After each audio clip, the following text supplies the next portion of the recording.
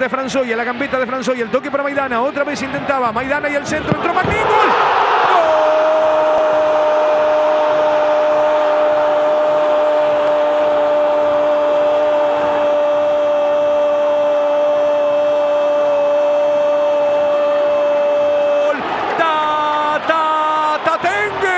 En el nacimiento del partido, en el comienzo mismo del partido, estaba Pablo Magnín, el morocho Magnín como centro delantero.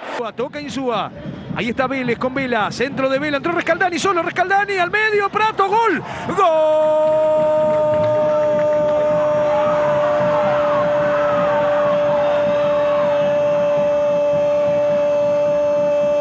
Del Fortín.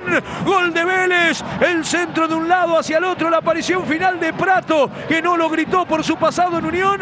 Y a los 24 minutos llega la igualdad. El equipo velezano. Prato establece, decreta, marca que ahora Unión y Vélez están uno a uno.